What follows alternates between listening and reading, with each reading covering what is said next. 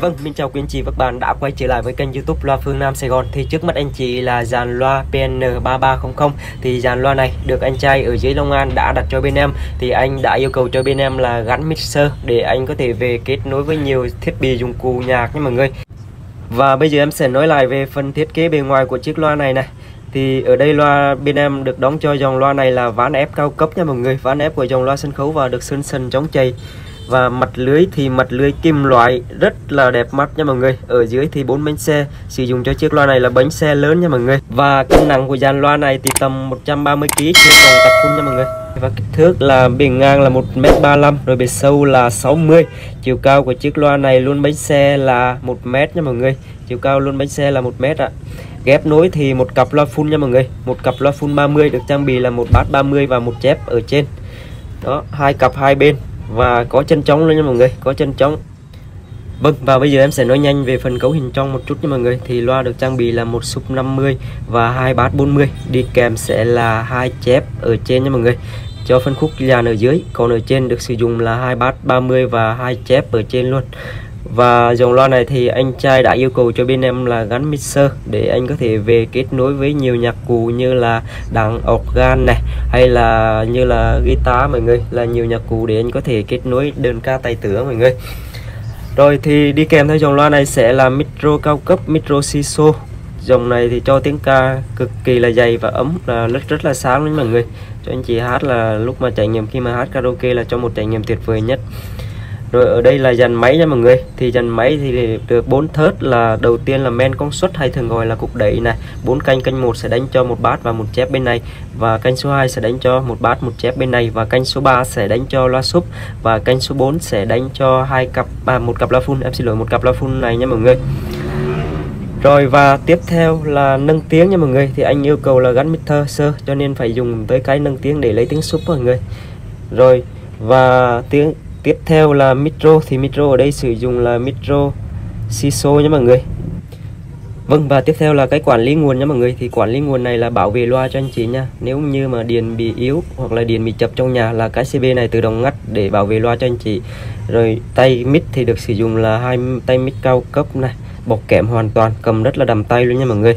Rồi và ở đây là bàn mixer nha mọi người. Đó, mixer ở đây là mixer 8 line nha mọi người rồi, và bây giờ là em sẽ đi vào tiến hành à, test chất âm. Để mà trước khi mà bàn giao về cho anh luôn mọi người thì em sẽ test nhỏ thôi. Tại vì ở đây là đường thành phố, cho nên là không thể nào mà test rất lớn được cho mọi người. Rồi, xin mời anh chị và các bạn chúng ta cùng lắng nghe.